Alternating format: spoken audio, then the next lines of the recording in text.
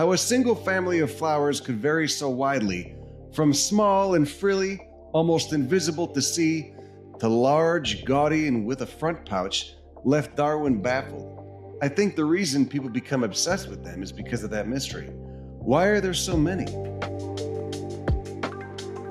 Hi, I'm botanist, artist, educator, and author Joey Santore. You can check out my videos, my art, my whole general basket of propaganda by searching Crime Pays Botany Doesn't or click the links in the description. Today we'll be reading Why is Everything an Orchid by Sofia Quaglia from Nautilus Magazine, and we'll learn why Charles Darwin was fascinated by orchids and how the overwhelming diversity of the orchid continues to confound scientists.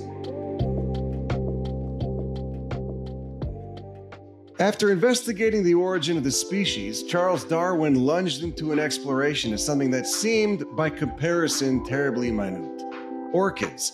By 1862, he'd traveled the world wide and far, encountering incredible organisms like giant tortoises, seafaring iguanas, and fossils of giant ground sloths.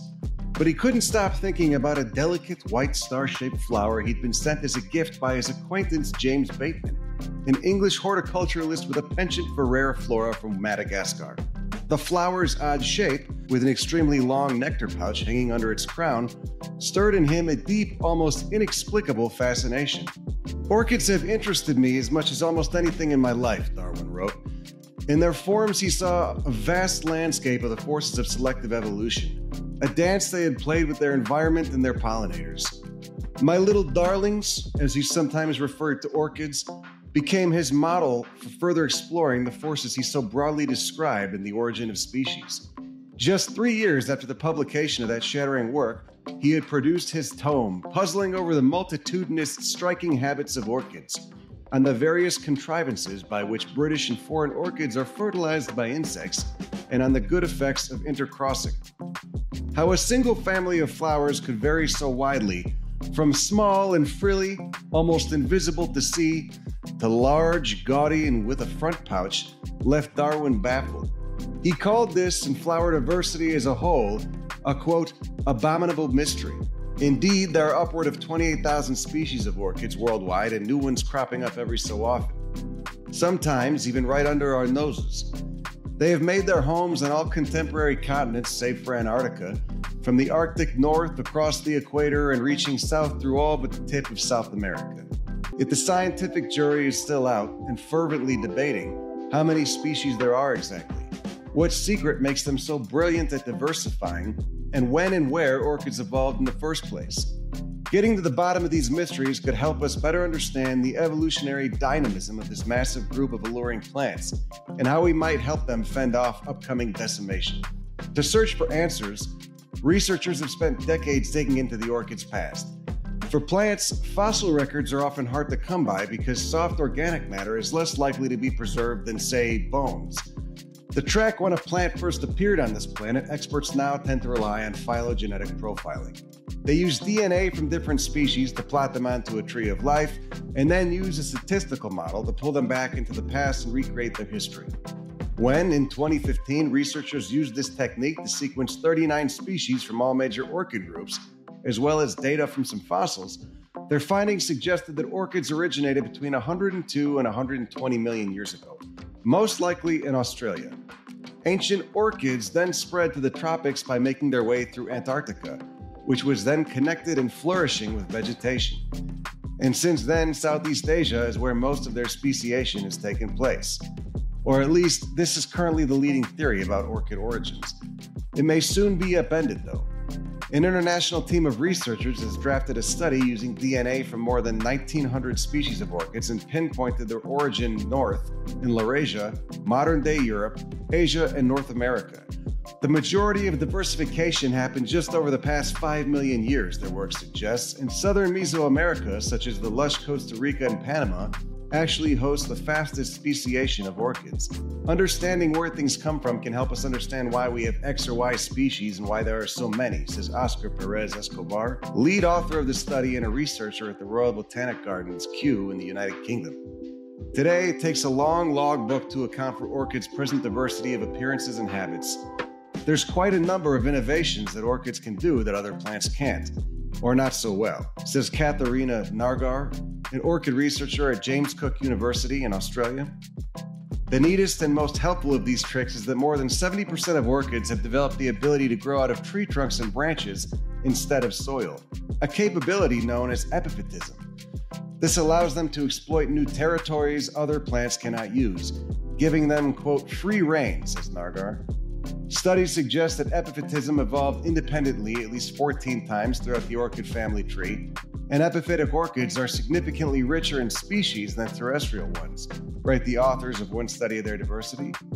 To successfully live in trees, orchids have developed the ability to absorb moisture from the air via a succulent, spongy outer coating on their stem and leaves, as well as to use their roots directly to photosynthesize.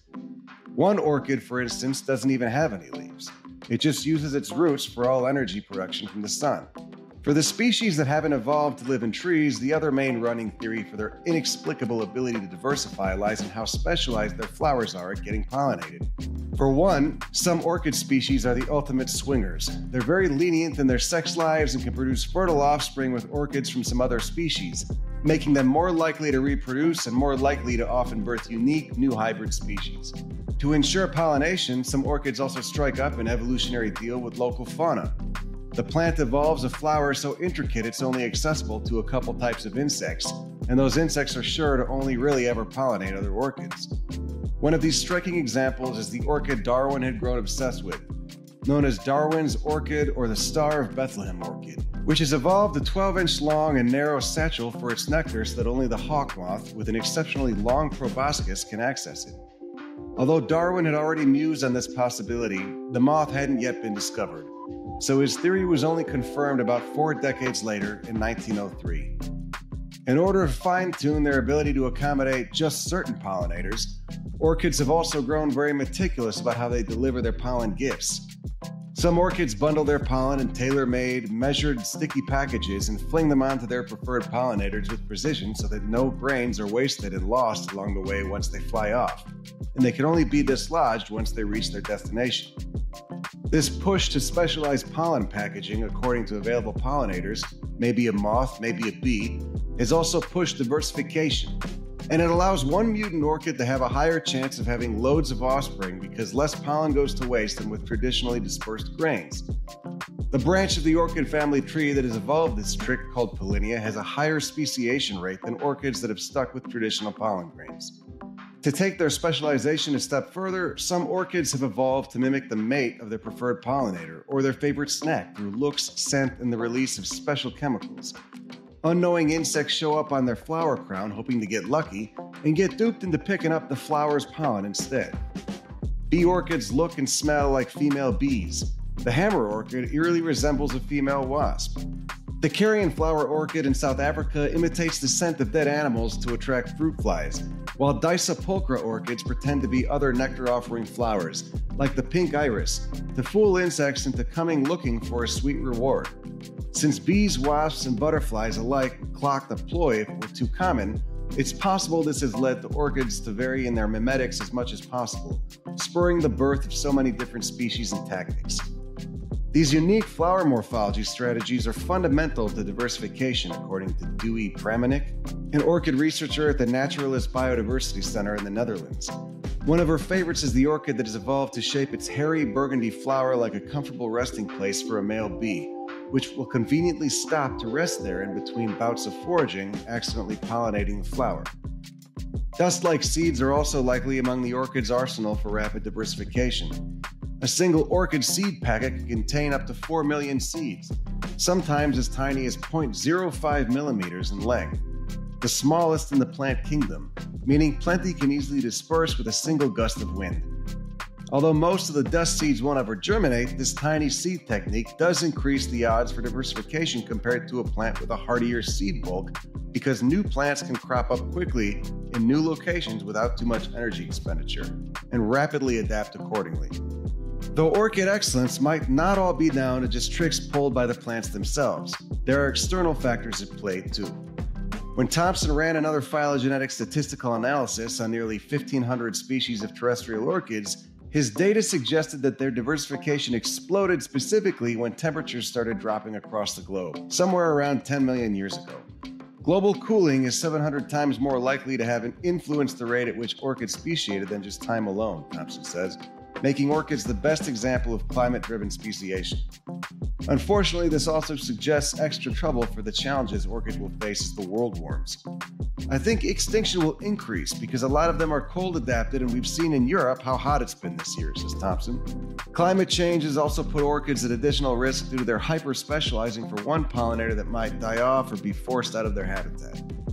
Going by their evolutionary history, orchids should continue to proliferate, and we should continue to discover new ones.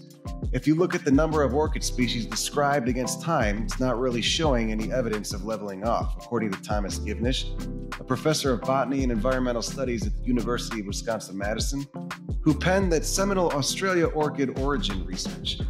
But human caused climate change and other habitat destruction are spelling out a different future for many of these species of flower. Some calculations suggest that plant species are dying out at least 500 times faster than before 1900, with orchids high on the threat list. Bangladesh has lost 32 of its 188 identified orchid species since 1996. In the Czech Republic, the suitable habitat for endemic orchids has declined up to 92%. In Florida, the number of famed ghost orchid, the sought after subject of the orchid thief, has declined by half. Orchids in India are blooming earlier than they should, potentially disrupting pollination. And according to a study published earlier this year, almost 280 known orchid species are in need of immediate conservation action, but most of these still lack adequate protection. If most of the diversity arose in the past 10 to 5 million years, the rapid loss of species we're experiencing now might be too late to counteract. If we don't protect the orchids that we have left, the time it will take for that orchid diversity to bounce back is millions of years. Perez Escobar says he's on a mission to gather additional international collaboration to sample the DNA of all existing orchid species, however many they may be, because he thinks that will help him definitively plot out the plant's evolutionary history. The one thing experts seem to all agree on is that perhaps the best way to come up with strategies to effectively stop orchids' decline, whether it's going to be saving the habitats they reside in, focusing on the pollinators that they rely on, cutting down on their illegal trade, or all of the above, is to somehow answer the big questions of the abominable mystery. What are the secrets to their success in speciation? Further parsing these details about orchid diversity can help conservationists home in on their rapid and wild evolutionary plasticity to, hopefully, give them a fighting chance at adapting to a rapidly changing world. After all, Darwin himself noted that orchids had been eminently useful for him to learn how every little element, even most trifling details of structure, are somehow a result of natural selection. As he writes in a letter replete with exclamation points to a fellow botanist, the beauty of the adaptations of parts seemed to me unparalleled. Thanks for listening along with me. You can follow me on Instagram at Crime Pays if Botany Doesn't. Find me on the YouTube over there and uh, go to crimepaysifbotanydoesn't.com for merchandise, podcast episodes, and much more. I also got a bonfire store. to buy all of the different shirts, you know, to start conversations or arguments when you're in line at the grocery store.